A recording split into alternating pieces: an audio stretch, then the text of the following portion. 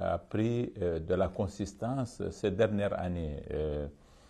depuis dix ans, les choses ont beaucoup évolué et il y a une accélération particulière ces dernières années.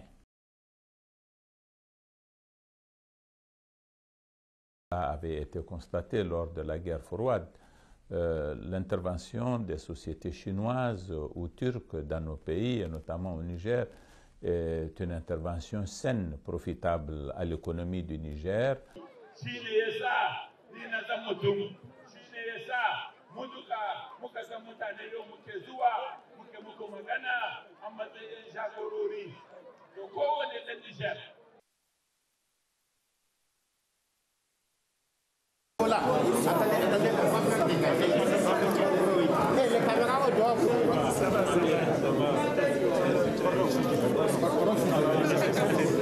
Animé par, euh, un sentiment de, par des sentiments de satisfaction euh, au regard euh, du calme qui a caractérisé la campagne du second tour que nous avons menée.